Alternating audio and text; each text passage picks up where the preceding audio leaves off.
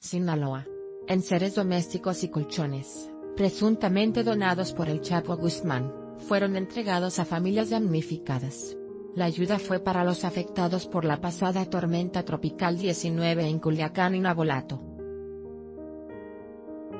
Los colchones viejos, que antes se entregaron, fueron sustituidos por enseres con el logotipo JGL. El Universal reporta que en redes sociales, se publicaron fotos de camiones cargados con colchones. Dichos colchones tenían el logotipo de una gorra negra y las letras doradas JGL, atribuidas al Chapo Guzmán. Las versiones Una de las versiones es que camiones cargados con parrillas, colchones y otros enseres domésticos, escoltados por camionetas de lujo no identificadas, repartieron este tipo de ayuda, atribuida presuntamente a Joaquín Guzmán Loera.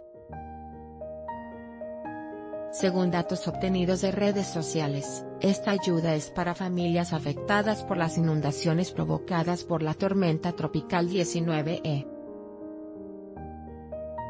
Las cajas de las parrillas entregadas a los damnificados portaban una calcomanía, con el logotipo de una gorra negra, con las iniciales que coinciden con las de Guzmán Loera, sin confirmación ni negación en el Estado. Ninguna autoridad ha confirmado o negado la supuesta distribución de ayuda por parte de personas vinculadas al Chapo.